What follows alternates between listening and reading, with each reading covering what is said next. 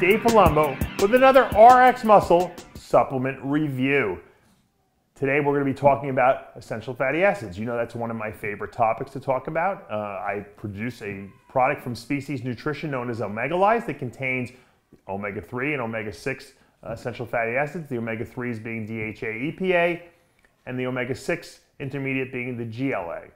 There's one, however, omega-6 intermediate that I don't have in Omegalize, and it's known as arachidonic acid.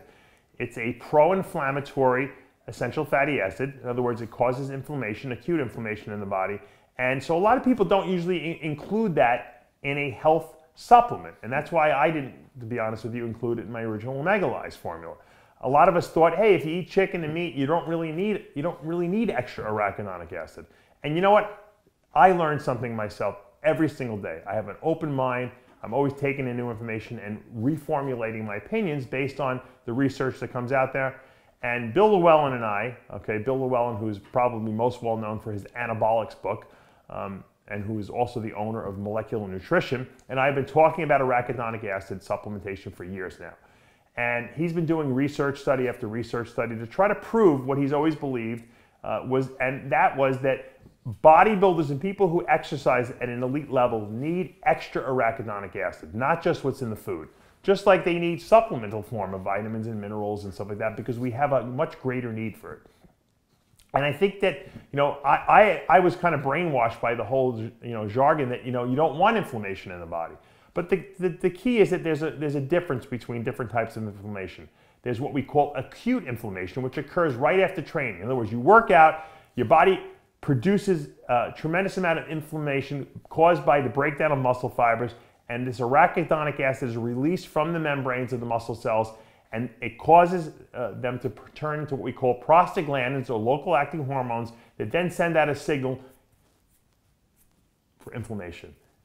Repair me, repair me, repair me. And if you reduce that acute inflammation by taking drugs like ibuprofen, okay, or even aspirin to that degree, um, what you're doing is you're taking away that signal, and actually, it, you can actually inhibit muscle gains. And that's why a lot of uh, research over the last five years has come out that you shouldn't take non-steroidal anti-inflammatories after you exercise because it might inhibit the growth uh, or the repair process.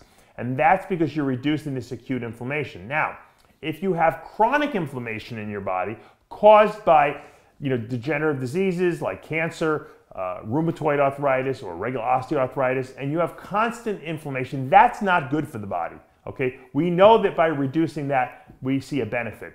But we don't want to reduce the acute inflammation caused by exercise. In other words, that's a self induced inflammation. And what arachidonic acid does is it adds to that. If you take this in supplemental form, these pills are 250 milligrams each, and you could take anywhere from 250 to 1,000 milligrams a day the research shows, and Bill Llewellyn has proven, uh, done it through the research, that number one, we get an upregulation in gene expression for muscle protein synthesis. Okay, we know that for a fact. We also know that um, we see increases in lean muscle tissue gains with this, the use of this product, and he's shown it experimentally. And we also, what's even crazier, have shown that actually total body inflammation does not rise with the use of, of arachidonic acid. That's something that I think everyone would have expected the opposite of.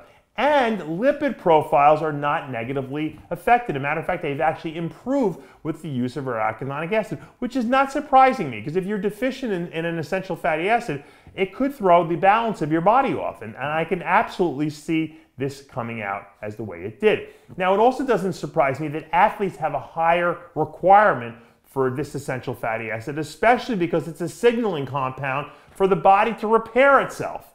So, you know, I have to say shame on me because I was wrong that you don't need extra. And because I, I realized that this is, this is something that could actually be maybe one of the secret ingredients that maybe guys are missing in the bodybuilding world, I said to Bill, look, you know what? I don't want to make my own version. You already did it great already. You have a patented ingredient. I'm going to sell your, your version. So Bill and I came up with a deal together where he sells to me, and I'm just going to be selling this now on davepalumbo.com. I'm selling it at one of the most aggressive prices on the web. So you, I don't think you can get it cheaper anywhere else. And I want you guys to test it out, and I want you to let me know how it works. I have a couple of my clients on it already, and every single one of them has told me that they feel more sore after they train. Now, what, why is that important? Because soreness after training is not because your muscles are damaged and they're hurting. It's because they're, they've become damaged and they've released a lot of arachidonic acid from their membranes. What arachidonic acid does is it converts into this something called a prostaglandin, which is a local acting hormone, and these prostaglandins actually cause pain. Almost like you know when you get like have the flu and you get that achy feeling, prostaglandins cause pain. And when you take an extra arachidonic acid and you're actually getting more signal being sent out, okay, you might feel a little sore, more sore because of this extra arachidonic acid being produced. And that's good because that's going to mean your body is going to prioritize repairing and building muscle. So we're creating more signal for muscle uh, protein synthesis to occur. And that to me tells me something is definitely going on that's good.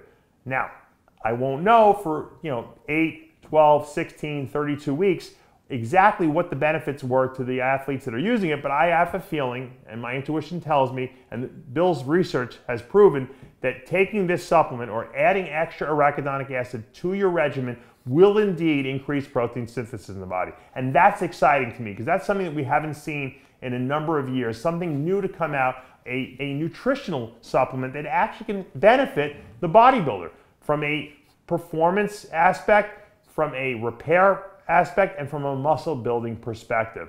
And I think that it warrants definitely testing out on your body. You know, if I was in the midst of my own bodybuilding, you know, career where I was trying to put on massive amounts of muscle, I absolutely would be on this product 100% because I did not leave any stone unturned when I competed. I wanted every extra edge I could possibly get, and taking X Factor, I believe, okay, will provide the one of the essential fatty acids that everyone neglects that is going to be absolutely imperative to building muscle.